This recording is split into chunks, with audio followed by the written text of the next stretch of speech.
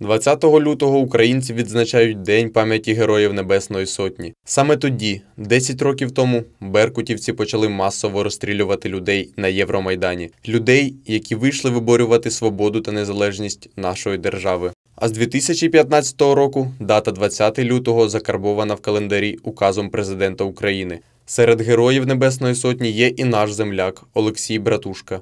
Він повністю відстояв майдан ще у 2004-му. А з початком Революції Гідності одразу ж рушив до столиці боротися за вільну Україну. Іноді повертався у Суми, коли все затихало, згадують його близькі. Але тільки но підвищувався градус на Хрещатику, не задумуючись, їхав у Київ. Востаннє Олексій був вдома 17 лютого 2014 року. Загинув через три дні в самому серці столиці на інститутській від кулі снайпера. Я йому казав, Леша, ти ну дома ж є он, Сумський майдан. Поїдь туди, пойди вечором після роботи. А ти що не розумієш, що якщо Київ розгонять, то всю Україну розгонять. Треба держати Київський майдан. І взагалі не робити з мене крису. Я не тобі, не собі не прощу. Ну, це весь характер. А останній, коли він лежав, я як чувствував, що Льоша, не їдь, раді Бога, я тебе не побачу. Батя, от все нормально. Ага, Жди мене. ви на камінь. Я не довго. Єдине, що я спитала у патологоанатома, він не мучився, каже, ні, смерть була миттєва, він навіть не зрозумів, що загинув, тому що По куля, заключенню пуля куля вошла вийшла ззаді. зі спини в х- х- хребет і вийшла через ну, в- ділянці серця. Тобто смерть була миттєва. Зверху вниз стріляв. Да. Стріляли в той момент, як ми вже потім зрозуміли, нас, коли ми їздили на суд, що він нахилився над пораненим.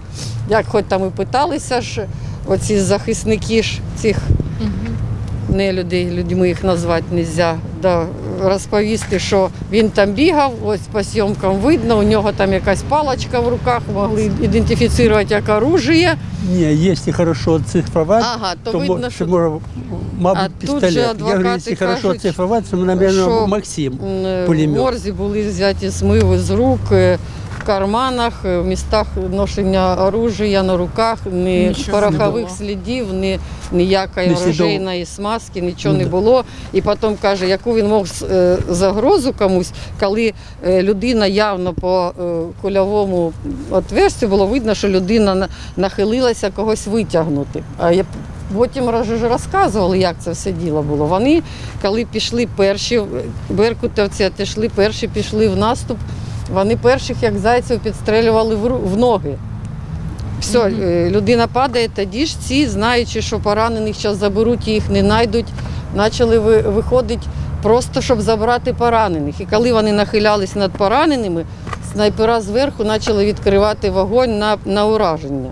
Стріляли в голову, в шию, в серце конкретно і добивали поранених. 18 червня 2014 року Олексію Братушці посмертно присвоїли звання Героя України. Він один із перших, хто віддав своє життя за свободу і незалежність нашої батьківщини.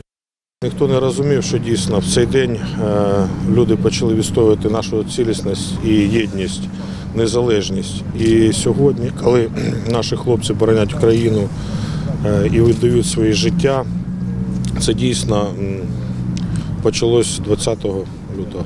Дійсно, ті хлопці це були перші, і, на жаль, сьогодні наші захисники гинуть, е, захищаючи свою країну, свої родини. Хлопці борються за, за, за нашу незалежність, за, за нашу свободу, за наше майбутнє. Як можуть бути ці смерті даремні? Якщо хтось цього не розуміє, як казали, звиняйте, чемодан, вокзал, Росія. Хочете жити там, їжджайте жити тут. Хочете жити тут, живіть, боріться. Цей день небайдужі сумчани, керівники міста та області зібрались на центральному кладовищі та вшанували пам'ять загиблих під час війни з Росією. Вони поклали квіти до могили Олексія Братушки, пам'ятного знаку Героям Небесної Сотні та воїнам загиблим на війні з російськими окупантами.